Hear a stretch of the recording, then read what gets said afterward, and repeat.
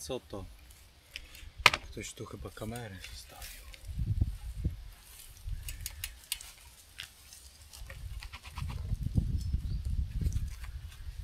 Pewnie chcieli, żebym pogadał.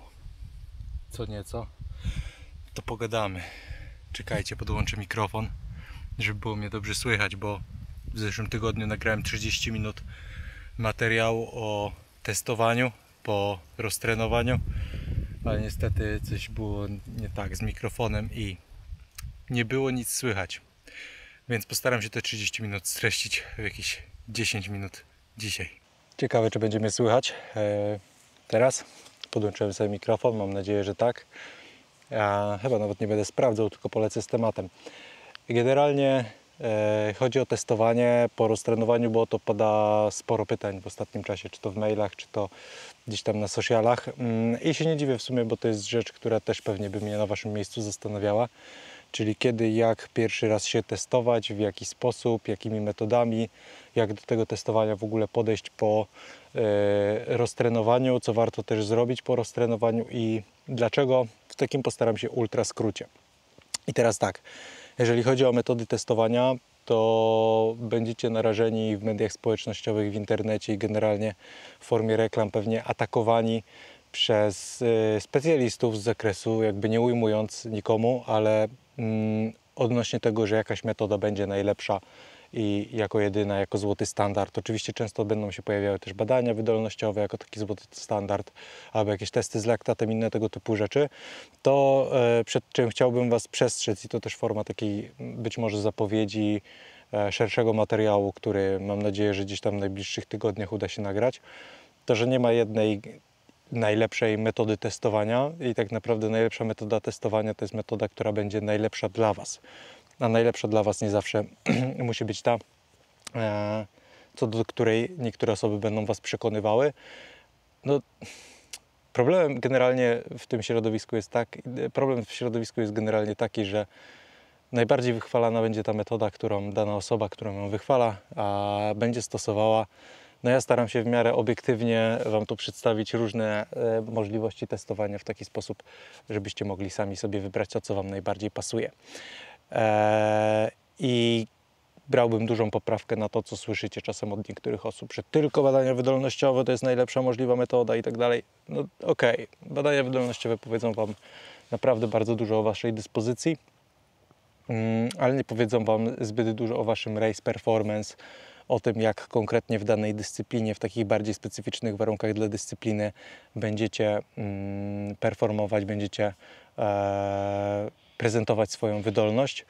Co nie zmienia faktu, że badania wydolnościowe są naprawdę świetną metodą testowania, która szczególnie w tym pierwszym etapie, na samym początku przygody ze sportem wytrzymałościowym potrafi powiedzieć dużo o Waszej formie, o Waszym zdrowiu, o tym, nad czym trzeba popracować, o Waszej fizjologii generalnie, bo one badają bardziej Wasze fizjologiczne aspekty wydolności, a na przykład testy terenowe, testy mocy i tak dalej e, pokazują Wam mniej więcej w jaki sposób Wy wykonujecie pracę i w jaki sposób sobie radzicie w specyficznym środowisku. Będą też e, być może ataki ze strony e, zwolenników laktatu, który robi się w ostatnich miesiącach, latach modny i nie ujmuję znowu miernikom laktatu, korzystam z nich z kilkoma zawodnikami, wykorzystujemy je w procesie treningowym, ale też nie uznawałbym tego za jakiś złoty, genialny standard. Tutaj rozszerzymy ten temat przy okazji też testowania e, monitoringu e, saturacji śródmięśniowej, który będę niedługo też robił mm, i będzie też fajna współpraca w związku z tym. To, co chciałbym o propos laktatu powiedzieć, to, że to jest tylko jakiś tam wycinek informacji, danych o Waszej dyspozycji, o waszym, Waszej aktualnej odpowiedzi w organizmie. I to jest trochę tak, jak mielibyście oglądać ten film, ale na podstawie kilkunastu klatek wyciętych z tego całego filmu. No, czy będziecie w stanie coś zrozumieć? Pewnie nie do końca. Wiedzielibyście, w jakim terenie się znajdujemy, jaka była pogoda, być może wiedzielibyście, jaka jest data, może byście usłyszeli jedno, dwa słowa, które nakreśliły Wam, że rozmawiamy o testach, ale tak naprawdę pełnego obrazu nie będziecie mieli. No i mamy też oczywiście testy terenowe, testy na mocy i tak dalej, z których ja osobiście y, dużo korzystam i cenię je sobie, zaraz powiem dlaczego. Teraz, jak się testować, czym i kiedy? Po roztrenowaniu. Mówimy tutaj o roztrenowaniu, o momencie, w którym zakończyliście e, swój sezon, odpoczęliście już i zastanawiacie się, jak teraz trenować, na jakich strefach tętna, na jakich strefach mocy e, i jak to traktować wszystko. No generalnie, jeżeli chodzi o metodę testowania, to musicie dobrać do własnych możliwości i potrzeb. Jeżeli logistycznie dla Ciebie będzie wygodne pojechanie na badania wydolnościowe, nie będzie to jakieś bardzo duże wyzwanie, to jak najbardziej jest to całkiem niezłe rozwiązanie, z którego w wielu przypadkach chętnie bym skorzystał, ale tylko w takich, których będziemy mieli możliwość powtarzania tych badań wydolnościowych w trakcie sezonu. Więc jeżeli to jest jednorazowa sytuacja, że nie wiem, mieszkasz 300 km od Warszawy, jedziesz przy okazji sobie do Warszawy i stwierdzisz, że przy okazji zrobisz po prostu badania wydolnościowe, ale potem w tej Warszawie się już nigdy w życiu nie pojawisz, no to nie do końca ma to sens. Tym bardziej, że jeżeli już wykonujemy badania wydolnościowe, dobrze by było wykonywać je na tym samym sprzęcie, w tym samym laboratorium, najlepiej z tą samą osobą, żeby mieć po prostu obiektywny obraz tego, czy wasza forma idzie do przodu, czy nie idzie. Więc Halo, dzień dobry, dzień dobry. Nie wiem czy wiecie, ale spora część ludzi, który, którzy oglądają ten kanał nadal go nie subskrybuje. A byłoby mi bardzo miło jakby subskrybowali. Także jeżeli jeszcze nie masz wciśniętej subskrypcji, to zachęcam do tego. Zrób to teraz. Ja poczekam, ok? Bo potem zapomnisz, ja wiem jak to jest. Już? Ogarnięte? Dobrze, to jak mamy już najbardziej cringe'owy sposób e, wymuszenia subskrypcji za sobą, to pragnę też wspomnieć, że wszystkie te materiały powstają we współpracy e, z moją firmą Movement Care, tu jeszcze stare logo e, i będzie mi miło, jeżeli zechcesz skorzystać z moich usług albo produktów. Mam między innymi plany treningowe, indywidualne plany treningowe, ale też i oferuję opiekę trenerską, czy możesz na moim sklepie kupić szkolenia. Do wszystkiego znajdziesz niżej linki, znajdziesz też tam link do zapisania się na newsletter. Po zapisaniu się na newsletter otrzymujesz darmowy dostęp do treningu na poprawę VO2 Max jako przykład, próbka mojej pracy. Lecimy z materiałem dalej. Więc jeżeli masz taką możliwość realizacji tych badań w miarę regularnie 3-4 razy w sezonie, to ok, fajne rozwiązanie, naprawdę dużo Wam powie i będzie takim pełnym obrazem Waszej fizjologii, który możemy uzupełnić o testy mocy w bardzo prosty sposób. Druga sprawa, y, testy z laktatem, to tutaj polecam, jeżeli faktycznie po prostu wykorzystujesz laktat w swoim treningu na co dzień. Jeżeli masz dostęp do miernika laktatu, to bardzo rozsądnym wyjściem będzie robienie sobie regularnego testowania testu progresywnego z laktatem, czy testów e, maksymalnego zakwaszenia, czy kontroli w ogóle laktatu w trakcie treningu, testowania progu tlenowego z wykorzystaniem laktatu. No, osoby, które zakupiły sobie miernik laktatu, prawdopodobnie już się wgłębiły w temat i wiedzą mniej więcej jak to robić, więc nie będę tego teraz tu tutaj tłumaczył. Przy okazji testowania SMO2 i e, mierników laktatu będziemy o tym rozmawiać. Będę Wam pokazywał różne fajne protokoły, możliwości wykorzystania tego sprzętu. No i e, trzecią i czwartą metodą są testy terenowe, testy na mocy. To jest rzecz, której ja jestem dość dużym zwolennikiem, ale nie to, że uważam, że to jest jakaś najlepsza z możliwych metod e, testowania, tylko z tego względu, że przy aktualnej dostępności do mierników mocy, jaką mamy, to jest najprostsze możliwe badanie, które jest w stanie przy odpowiedniej obróbce danych naprawdę wiele nam powiedzieć o Waszej dyspozycji. I teraz tak, będą y, różne metody testowania, od podstawowej metody testowania FTP 20-minutowym testem czy godzinnym testem, którego ja osobiście nie jestem zwolennikiem ze względu na to, jak mocno jest obciążający. Zdecydowanie bardziej wolę testować e, moc krytyczną, a potem testować czas do wyczerpania na mocy krytycznej.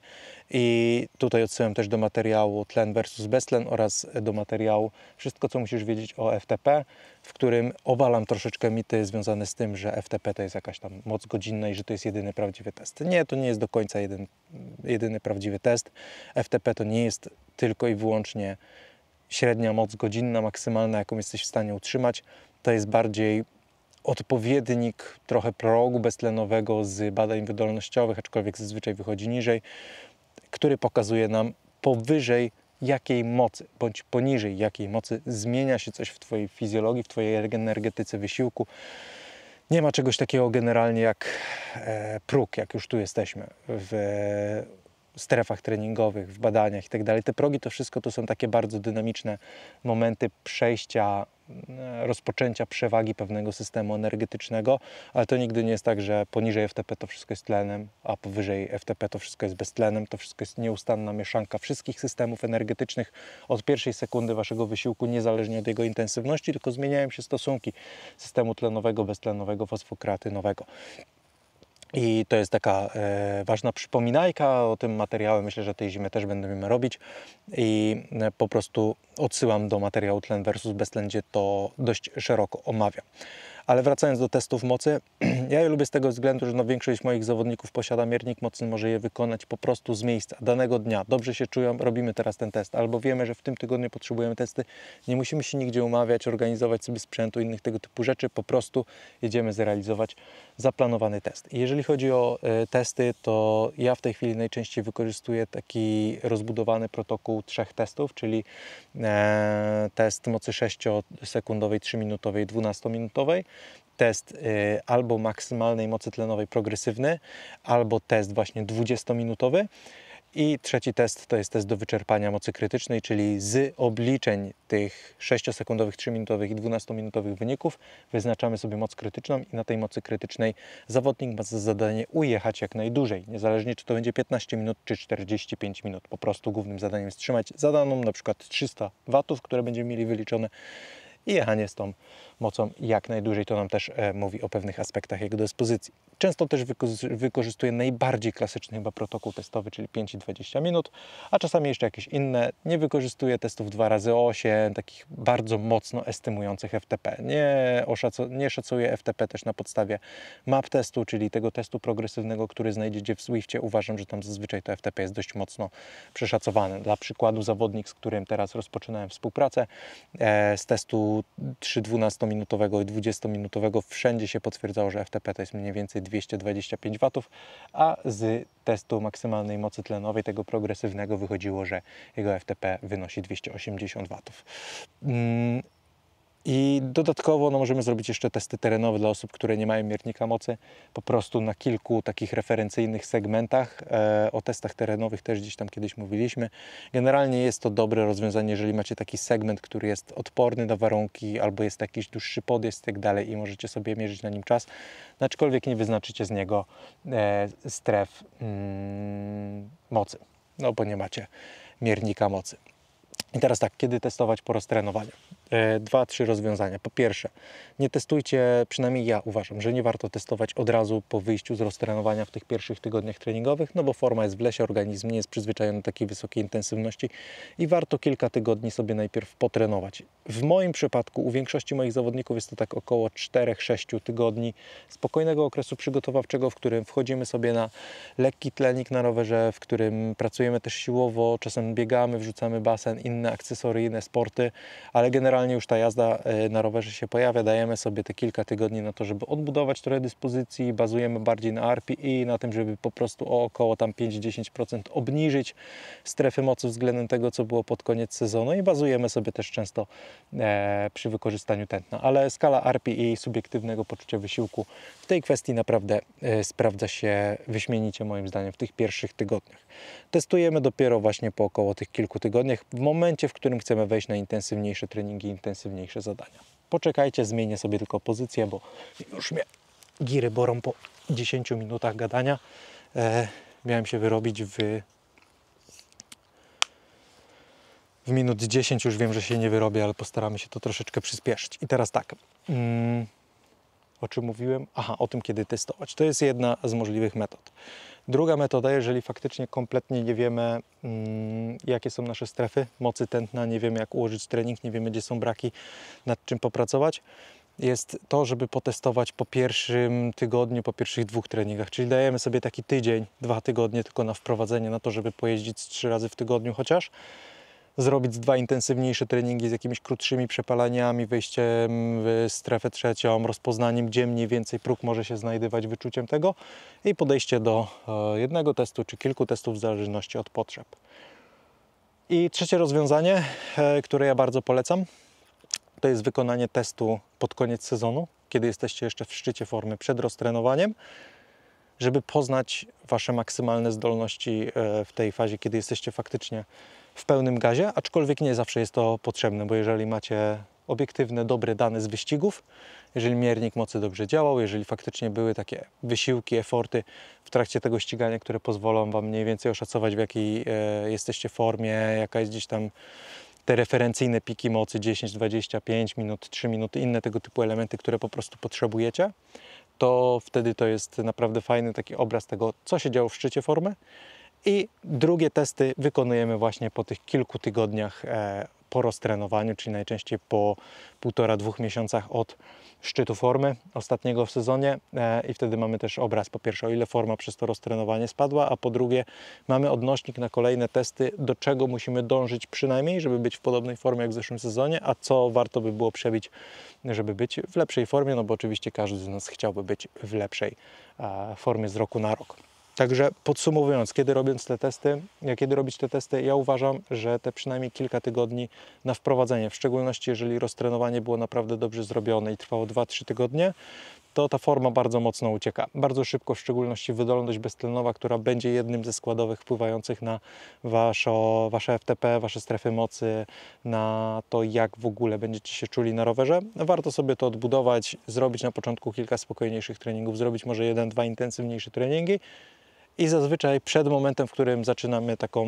robotę na intensywnych zadaniach treningowych, to wtedy po prostu się testujemy. W moim przypadku na przykład będzie to pewnie dziś początek grudnia. Ja do grudnia nie będę robić jakichś intensywnych zadań prawdopodobnie e, i dopiero gdzieś tam na przełomie listopad-grudzień wykonam pierwsze testy mocy, które pozwolą mi na to, żeby wyznaczyć dalszy kierunek mojego treningu. Nie tylko wyznaczyć strefy mocy i tętna, ale też wyznaczyć sobie, w których obszarach ja chciałbym treningami akcesoryjnymi e, sobie popracować. Będę pracował pewnie nad podstawami, nad podstawową wytrzymałością tlenową, nad wytrzymałością siłową, takimi rzeczami, nad którymi zawsze w tej fazie pracuję, ale zawsze jakiś tam jeden trening w tygodniu wrzucam na te słabsze ogniwo mojej formy i to też wtedy polecam. Dlatego czy to testy, czy badania wydolnościowe po prostu w tym terminie będą bardzo fajnym rozwiązaniem. I to niezależnie czy testy mocy, czy testy na czy badania wydolnościowe, właśnie po tych pierwszych kilku tygodniach po roztrenowaniu, e, kiedy już wejdziecie w fazę przygotowawczą, polecałbym Wam zrealizować.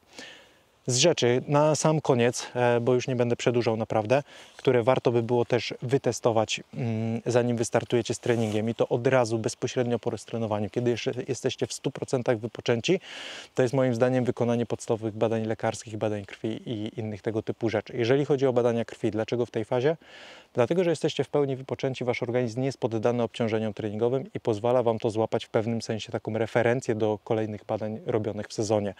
Czyli jeżeli zrobicie na pełnym wypoczynku te badania i będziecie robić w przyszłości w sezonie, kiedy będziecie mieli nie wiem, podejrzenie, że jesteście przemęczeni, zmęczeni, chorzy, inne tego typu rzeczy, to macie badania, do których możecie się odnieść, zobaczyć, ok, zmieniło się to i to e, na przestrzeni ostatniego, nie wiem, 3-4 miesięcy i wiem, że to może być faktycznie patologia, wiem, że to może być wynikiem treningu. Chodzi głównie o to, że niektóre e, zmiany w obrębie morfologii krwi, które będą sugerowały, że coś dzieje się nie tak, będą po prostu dla niektórych osób naturalne. Na przykład będą zawodnicy, który, którzy na trening będą reagowali bardzo wysoką kinazą kreatynową, tak e, zwani zawodnicy wysokokinazowi, którzy po prostu będą tą kinazę nawet po niezbyt ciężkiej sesji treningowej przez 2-3 dni mieli na poziomie tam kilku tysięcy na przykład, kilkuset.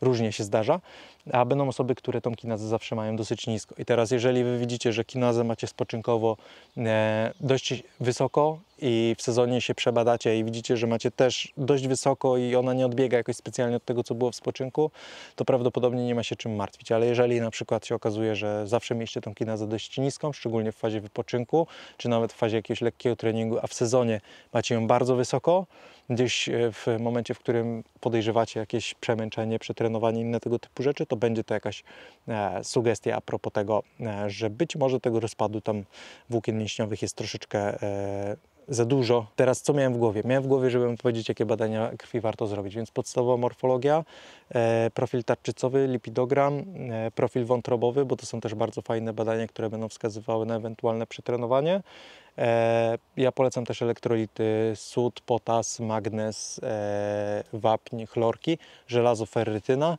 no i pełen pakiet hormonalny w przypadku kobiet i podstawowy pakiet hormonalny w przypadku mężczyzn, czyli chociażby kortyzol i testosteron, który też e, Wam pokaże, jak wyglądacie w stanie wypoczynku i będzie nam mówił o tym, e, co się dzieje z Waszym organizmem w sytuacji, w której e, być może się zbyt mocno troszeczkę dojedziecie tym treningiem.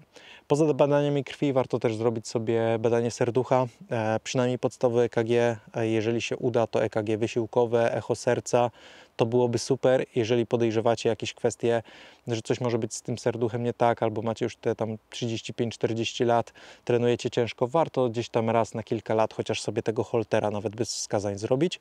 I tu przy holterze moja uwaga, nawet jeżeli lekarz e, powie, że o proszę tam nie szaleć z tym holterem, to ja bym Wam polecał zrobić na tym jeden intensywniejszy trening, żeby faktycznie poddać Wasze serducho większemu stresowi i zobaczyć jak ono się zachowuje pod tym większym stresem, żeby nie było sytuacji, czasem takie jest, nie wiem, czy to jest kwestia lenistwa, e, czy ostrożności lekarza. To jest trochę chyba na zasadzie, żeby nic przypadkiem nie wyszło, no ale po to robimy badanie y, holterem, żeby ewentualnie, jeżeli są jakieś nieprawidłowości, to żeby wyszło właśnie.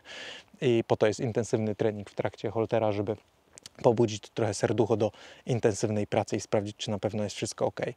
No i co, i warto czasem się udać do fizjoterapeuty, e, sprawdzić, jak sytuacja wygląda z Waszym ciałem, jakie są braki, e, przedyskutować z nim e, to, nad czym warto by było w Waszym przypadku popracować, jeżeli chodzi o, nie wiem, jakieś ograniczenia mobilności, e, spadek siły mięśniowej, gdzieś jakąś nieaktywność niektórych struktur mięśniowych, inne tego typu rzeczy po prostu sprawdzić się ruchowo i zobaczyć, e, przedyskutować ze specjalistą to, nad czym warto by było w okresie w szczególności przygotowawczym pracować, bo w szczególności jak mamy tutaj ten okres, w którym dużo pracujemy siłowo, to kilka prostych ćwiczeń wrzuconych do treningu może naprawdę Wam pomóc e, troszeczkę ograniczyć ryzyko kontuzji, e, troszeczkę zwiększyć też Wasz performance na rowerze i poprawić ogólne samopoczucie, więc to bym bardzo polecał. No i co? Ode mnie to chyba na dzisiaj tyle. Bardzo dziękuję za wysłuchanie. Mam nadzieję, że dźwięk jest znośny. Mam nadzieję, że wyciągnęliście z tego przydatne Wam treści. Ja lecę na trening, bo kończy mi się troszeczkę czas, mm, a chciałbym pokorzystać z tej pięknej pogody, bo dzisiaj naprawdę fajne warunki.